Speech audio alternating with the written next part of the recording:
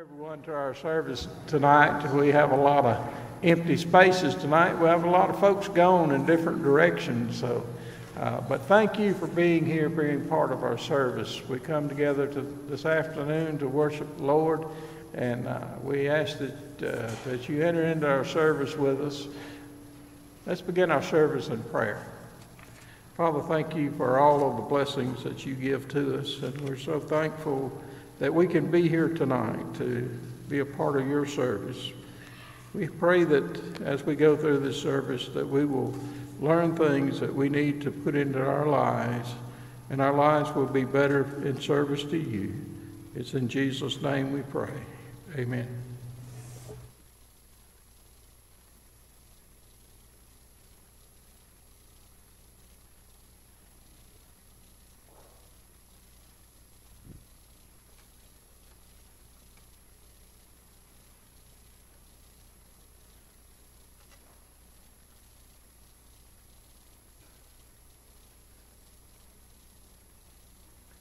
First song this evening will be number 324, Alas, Did My Savior Bleed. It's already been mentioned, we got a lot out for camp, things like that. That means everybody here is going to have to sing for at least two or three other people tonight. So let's all lift our voices in praise to God.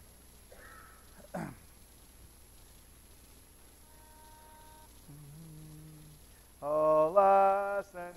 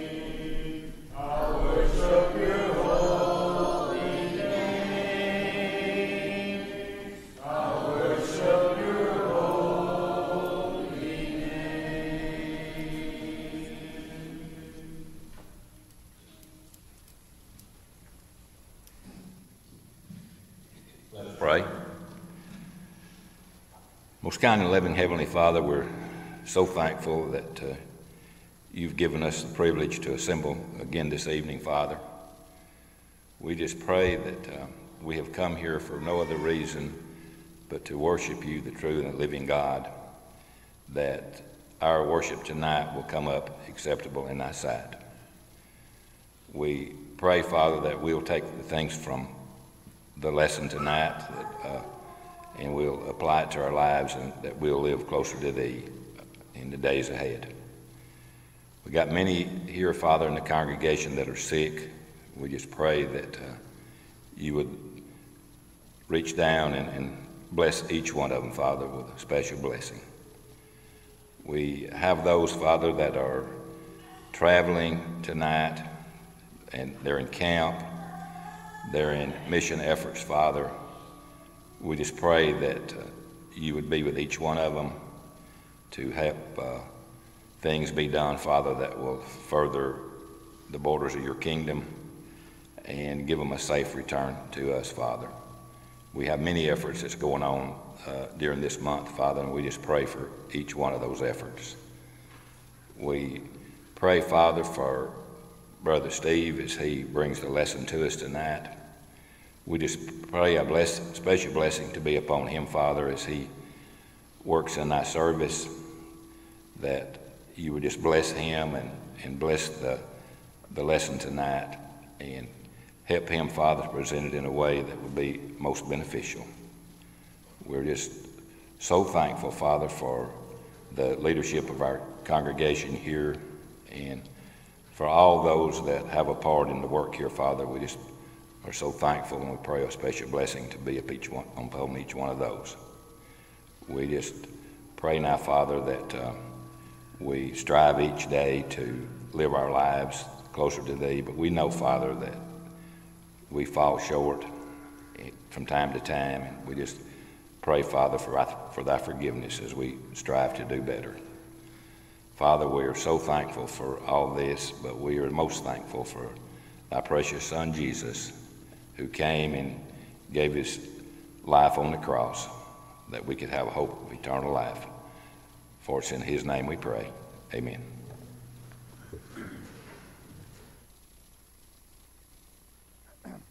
Song of invitation tonight, if you want to mark it in the song book, is number 907. Hark the gentle voice, number 907. This time, if you're capable, ask if you will please stand for the singing of the song before the lesson. Burdens are lifted at Calvary, number 907. Praise on him with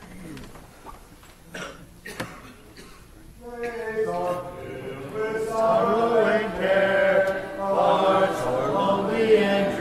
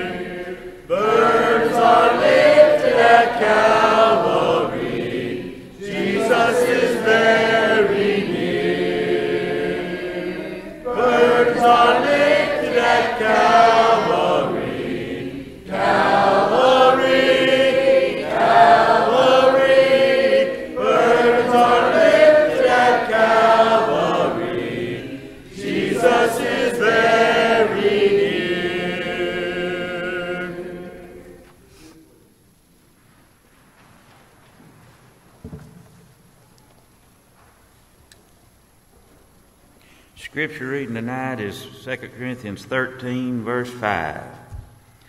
Explain yourselves as to whether you are in the faith. Test yourselves.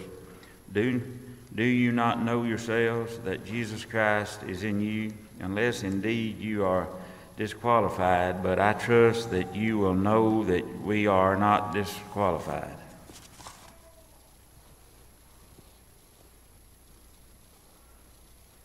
Thank you, Brother James. Good evening. It is good to be here tonight, and thank you for this opportunity, and thank you for being here. If you're visiting with us, please know that you are our honored guest. And if you are here tonight uh, because you love God and you want to take another opportunity to worship God and be fed from His Word, then thank you for being a part of our study tonight as we take a few minutes and allow God to speak to us. In Jeremiah chapter 1, verses 11 and 12, Jeremiah said, or we read there, and the word of the Lord came to me saying, Jeremiah, what do you see? And I said, I see an almond branch. And the Lord said, You have seen well, because I am watching my word to perform it. Now, that might seem like a strange verse to begin with this particular lesson tonight, especially if you've looked in the bulletin but it's the principle there. Now, in that passage, there's some symbolism and a lot of study as we uh, re- would read about God and His dealing with His rebellious people. But that isn't our lesson. But the principle there is very simply this, and it carries into our thoughts for tonight. God is saying to Jeremiah, Are you seeing what I need you to see? Are you seeing what you need to see in order to continue to hear what it is that I have to say and what you need to do? And that makes me think of John 4 and verse 35 when Jesus said, uh, Look and see that the fields are ripened to harvest. Now, Jesus there was using their understanding of, of fields and grain and so forth to say, Look, look at all of these souls. Look and see. Jesus was saying to his disciples, Do you see what I need you to see? Because I'm about to show you something even greater. And that makes me that takes us, I think, into what James read just a moment ago in 2 Corinthians 13, 5, where Paul, through inspiration, tells us to examine ourselves, to see if we're in the faith, to see if Christ is in us and we're in Christ the way we should. As we look into Scripture, we understand that the principle is there that God wants us to see what He needs us to see. And we need to reflect on the things that He is doing in our lives and the work that He is unfolding among us. And so it is with that thought that I want us to think about Vacation Bible School just a little bit. You know, sometimes Vacation Bible School, and very first, let me start out by saying to you from the very onset, before I say another word, is that this is not a, a VBS report.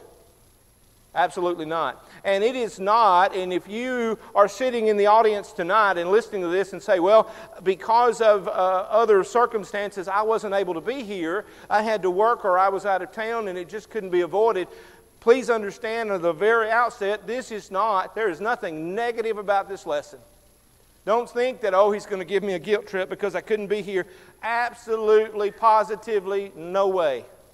That's not what this lesson is about. But instead, I believe there are some things that we can talk about that I uh, saw in VBS that ought to be a shot in our arm, that ought to be an encouragement for us to continue to do exactly what God began during a few days that we spent together. You say, wait a minute, I thought we had VBS. So I want us to think about that for just a few minutes. Sometimes, if we're not careful, we get into habits. And if we're not careful, VBS is one of those habits. We have Vacation Bible School, and we've got this list made, and, and we work hard, and our teachers did, and, and our workers did, and we worked hard, and we did it. And at the end of the week, um, you know, the next day I, I go to Walmart, and uh, I'm kind of walking zombie along, and a sweet lady says, Oh, excuse me, and uh, I didn't mean to get in your way. And I'm like, I just finished VBS. I don't think you can get in my way. I'm that tired. And you were that tired. And so we kind of check it off our list and let's move on to the next thing, and then we just forget about it. But may I suggest that as we think just a little bit, some, there are some observations that I made that I want to share with you, from which I learned some Bible lessons that I believe you and I need to learn. And that's what I want us to study for just a little while tonight. So if you weren't able to be here this year, that has nothing to do with what you can learn from this lesson. So I want us to think for just a few minutes about some of those observations and some lessons that we learned. Now, but let me stop in time out and lead with a disclaimer. I, I want to warn you up front that this lesson will stir you up if you let it. This lesson will challenge you if you let it. It'll provoke you to do more for the Lord if you let it. I'm going to give you some outright challenges. And I might even speak in the Tishomingo County uh, dialect and just double dog dare you to do some things. But as I think about Bible school that we just went through and some things that I saw, first of all, I saw truth working. I saw truth working. Our, our teachers work very hard to teach lessons, but I saw truth working not just in those classrooms, in other places. It makes me think of what Isaiah said in Isaiah 55 10 and 11 when he said to Isaiah, For as the rain and snow come down from heaven and do not return there, but water the earth, making it bring forth and sprout, giving seed to the sower and bread to the eater, so shall my word. He says, just in that same way. That rain doesn't go back up, it goes in. In the very same way, my word that goes out from my mouth, listen to this, it shall not return to me empty. It shall not return to me empty. In fact, it will accomplish that which I purpose and succeed in that which I sent it. Now, do you and I believe that? Do we really believe that? If we put our hands to the plow, if we put our, our, our, our, our hearts and our lives into the business of doing what God wants us to do, He said, My word, acted out through my disciples, my, my children, doing what we're supposed to do, it will do exactly what I intended for it to do. Now, you might not be able to see everything you'd like to see, and you might not be able to count all the things you'd like to count, but I promise you that my word will do exactly what I said it would do. Do you and I believe that? Do we believe that? Now, the parable is this the seed is the word of God. That's what Jesus said in Luke chapter 8 and verse 11, that parable we often study. He said in Luke in verse 15, as for that, the good soil they are those who, hearing the word, hold fast in good and honest hearts and bear fruit with patience. So, in other words, it takes some time for that fruit to, to come to fruition, for that to happen, but it will happen. In those good and honest hearts, if that seed is planted, it will work, but it takes some time. I saw truth working. I cannot help but think of a quote. Uh, being the English teacher lover of words that I am, every day I put a quote on the board, two quotes on my board in my classroom. Every day. One is from literature somewhere, one is from Scripture. And I always think of one that I put up without fail. I can't wait for that day because somebody always says, Wait, what? What does that mean? We don't get that. Because it says, patience colon, in time, the grass becomes milk. Did you get that?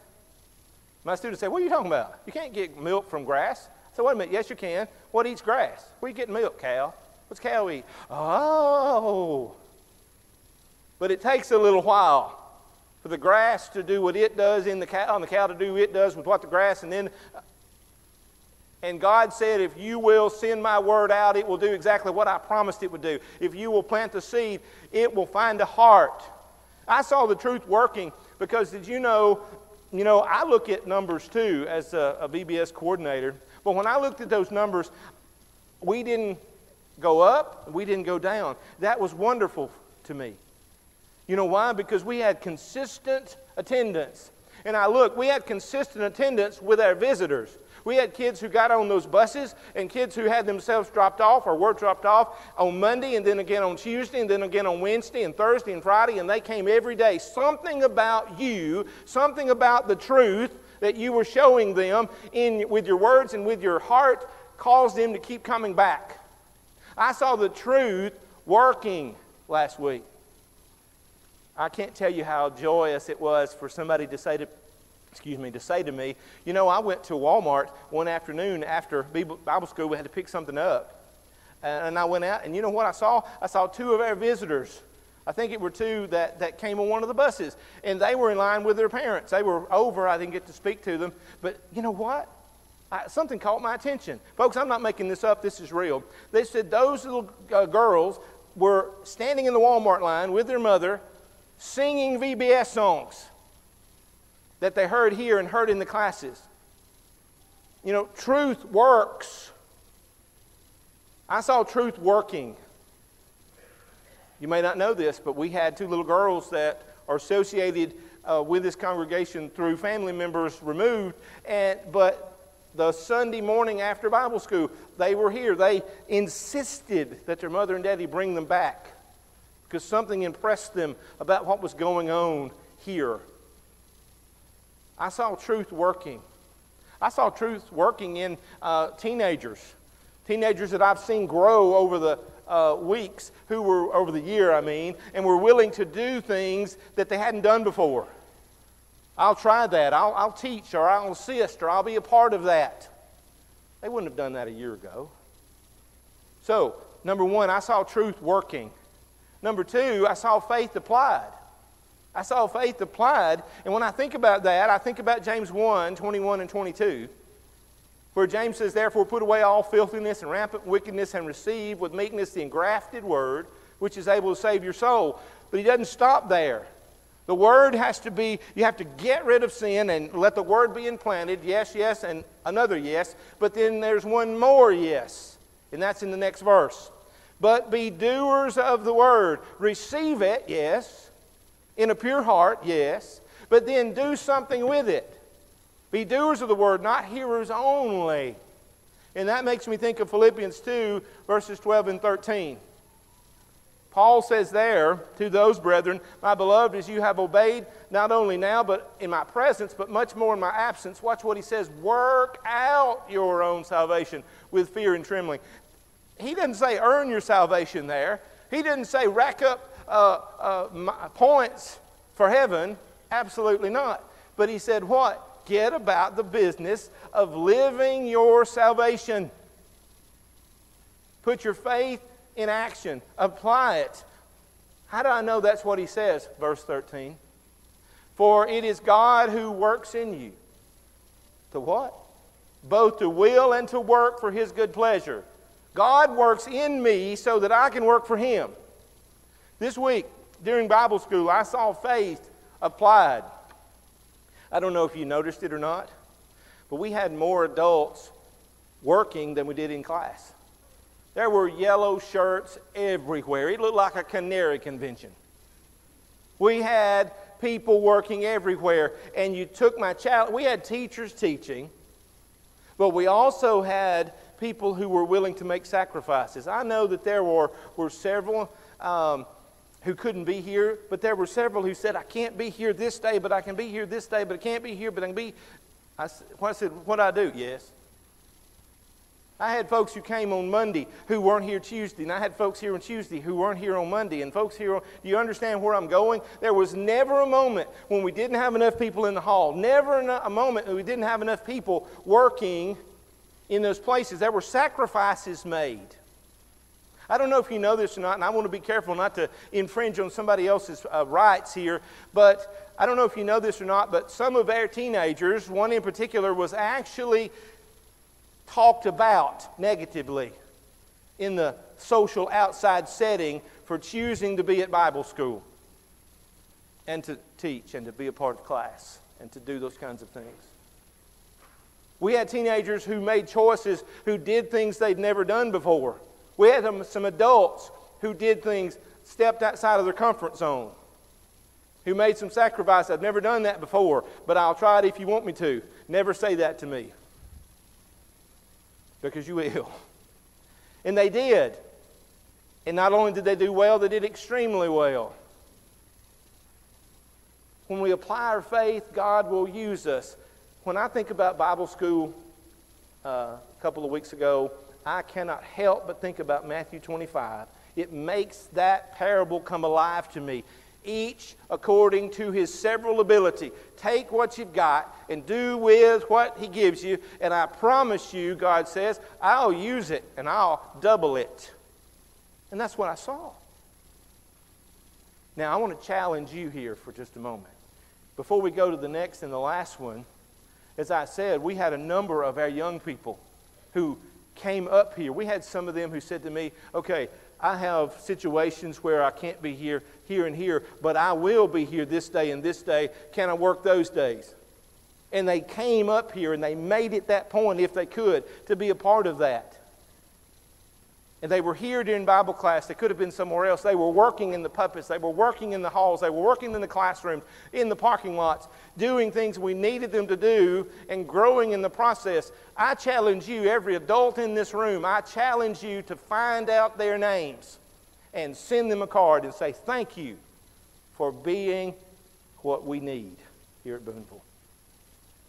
I challenge you to get their names. I'll give them to you. I'll ask Miss Jimmy to. Um, and send them a card and say, Thank you for coming up here and being at VBS when you could have been somewhere else. Now, number three, I tell you what else I saw. I saw opportunity provided. Opportunity. And when I think about that verse, I think about, or that point, I think about these two verses.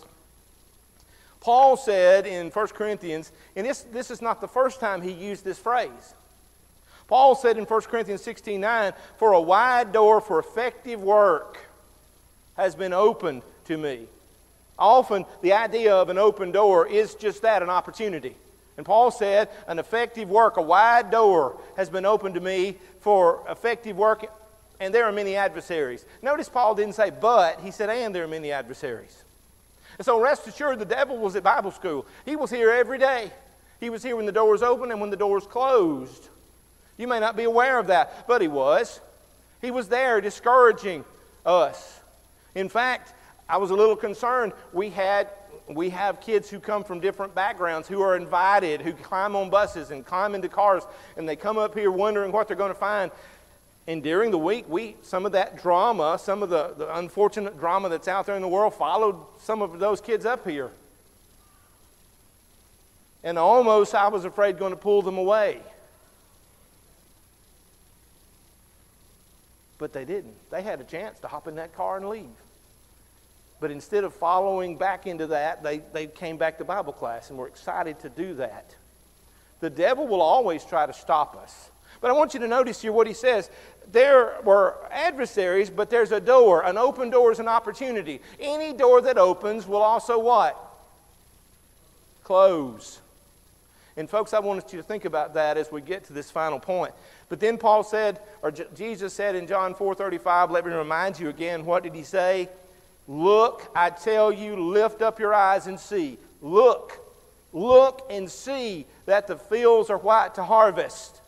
Please think about the opportunities that we have. Those children who were up here with us and singing those Bible school songs while they stood in Walmart, uh, uh, in the line, they're going to forget those songs. As time passes because that's what time does. They're going to forget about what they learned up here if they don't get a chance to learn it again. I challenge you. I double dog dare you to come up here and ask to take that registration list and pick out one name. One name. And send a card. Make a phone call, or let me be really bold. Drive over to that house and say, I know you don't know me, but your children came to Bible school where I worship. And we would really love it if you came back.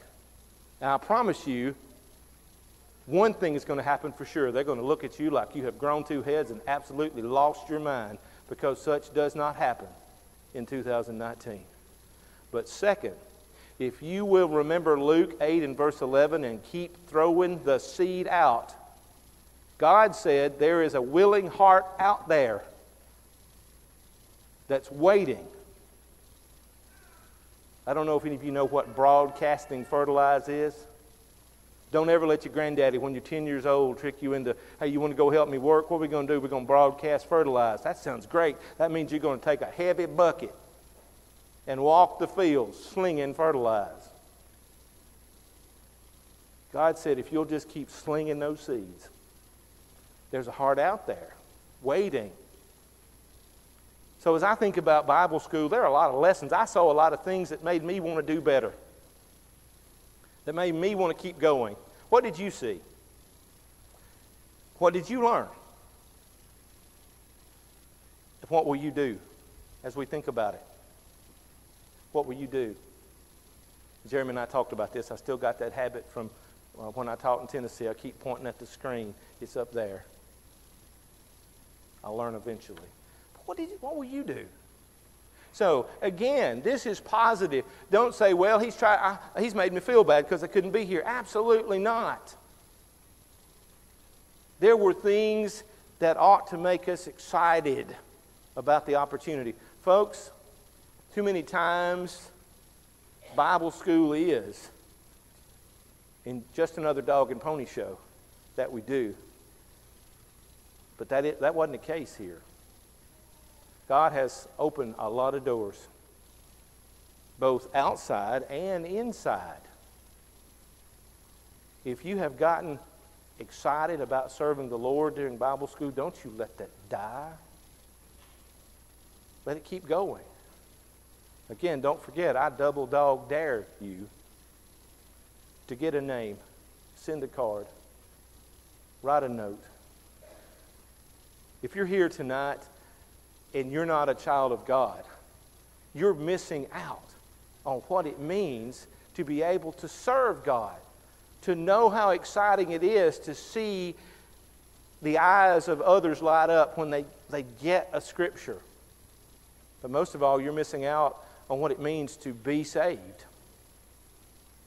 If you've never obeyed the gospel tonight, but you believe that Jesus is God's Son, and you're willing to repent of your sins, meaning simply you're going to turn your back on the life of sin and do your very best to live for God, Acts 17 and verse 30, and you're willing to confess that Jesus is the Son of God, Matthew 10, 32 and 33, to live it as well as say it, and be buried with Him in baptism, Acts 22 and 16, to have your sins washed away so that you can walk a new life. If you're not walking that life as a Christian tonight, it may be the reason why often we don't see the, the joy and the strength and the enthusiasm in the work of the Lord is because we haven't been in the work of the Lord like we should. Tonight, if you need to respond to heaven's invitation, won't you come while we stand and while we sing? Hark the gentle Jesus calleth tenderly.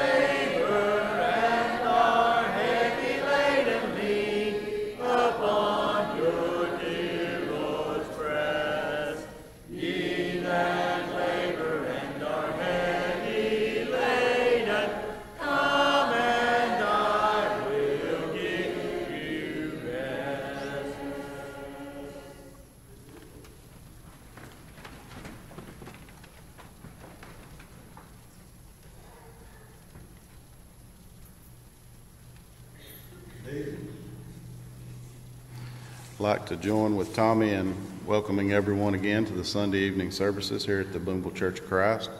Extend a warm welcome, especially to our visitors, and it's our prayer that you'll be able to attend with us again here soon. Our next scheduled service will be Wednesday evening at 7 p.m. I do have a few announcements this evening. Sympathy is extended to Melanie White in the death of her uncle, Harold Certain, in Cincinnati, Ohio, this past week. Also, remember the Teen Mission VBS, June, excuse me, 26th through the 29th in Tishomingo Church of Christ. If you can help at all with that, please see Steven Hodgin this evening. Also, we have a note. Thank you for sharing your love by providing cupcakes for the Relay for Life Survivors Dinner. The cupcakes were not only delicious, but a huge success. Your time, talent, and most of all, your love for others are greatly appreciated. The Relay for Life Survivors Dinner team. And also for the ladies, the Women's Church League softball team will practice tonight after evening church services.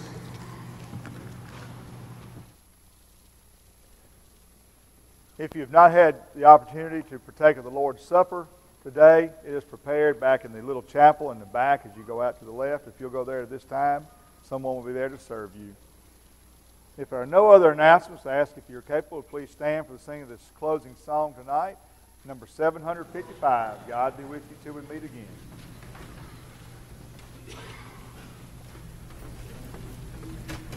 God be with you till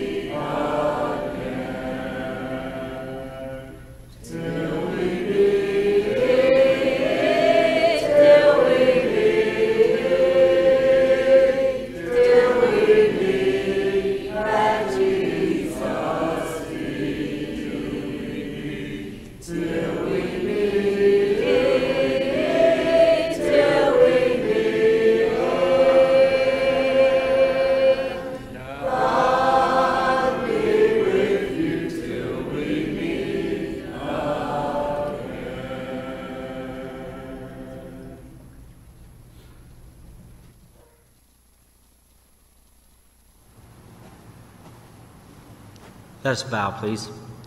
Our most graciously Heavenly Father, we thank you for this day you've given us. We thank you for letting us come out tonight and study another portion of thy word. May we take the lesson we have heard tonight, Heavenly Father, and apply it to our lives and take on the challenge that Brother Steven has given to us, Heavenly Father. And let's reach out to someone that thinks the impossible of us, Heavenly Father, and let's just show them that we do care for them and God does care for them also, Heavenly Father.